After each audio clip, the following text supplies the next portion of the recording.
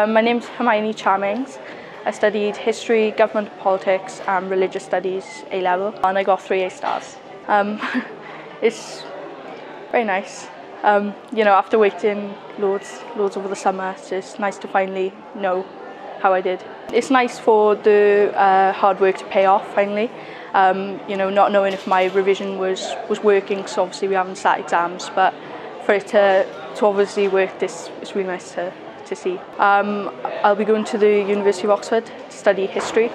Um, so yeah, look forward to that. I've really enjoyed the, the lecturers. I think they've been really supportive, especially when it came to UCAS applications and things like that. And um, you know, being a part of the GATE program um, and doing EPQ has been all really, really helpful in preparing me. So I, I feel quite quite prepared uh, academically to, to go on to university.